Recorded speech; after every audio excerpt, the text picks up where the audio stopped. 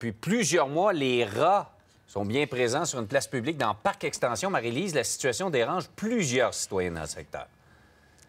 Et ce matin, pour t'en parler, on se trouve euh, à la place de la gare Jean Talon, près du métro euh, Parc. Et on peut l'observer même, euh, Jean-François, ici sur ce terre-plein que Maxime vous montre. On en voit un rat se, promener. On l'a vu à quelques reprises. Ce matin, on l'a même surnommé Brad, Brad le rat.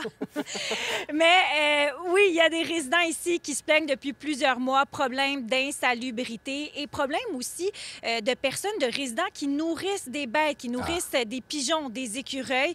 Euh, résultat, bien, il y a des déchets au sol, il y a de la nourriture, ça n'aide en rien. Même s'il y a des exterminateurs qui tentent de s'attaquer au problème, bien, euh, les rats sont toujours présents.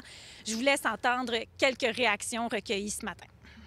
Ils courent euh, en effet en avant des gens et puis on voit les terriers aussi, je pense, dans les là où il y a les pots de fleurs. Je ne sais pas quoi faire pour les enlever, mais il faudrait arrêter de les nourrir probablement. C'est pas agréable, c'est pas, c'est pas, c'est pas propre. Il y a des bêtes, il y a, il y a de l'indiscipline, voilà.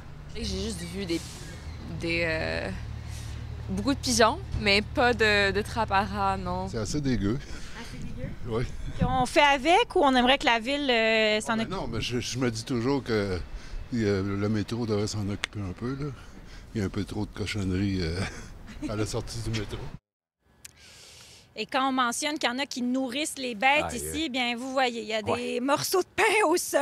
Euh, on a voyé il y a quelques instants des pigeons tenter de, de, le manger. Et puis juste à côté, bien des pancartes qui ont été installées par la ville, interdiction de nourrir euh, les animaux jusqu'à 4000 dollars d'amende. Euh, Jean-François, en terminant, il y a à peu près une quinzaine de rats qui ont été installés ici sur l'espace public tout près du métro parc. Qui sait peut-être que Brad va tomber dans une de ces rats. Merci, euh, Marie-Lise. On fera un suivi ce matin. à plus tard.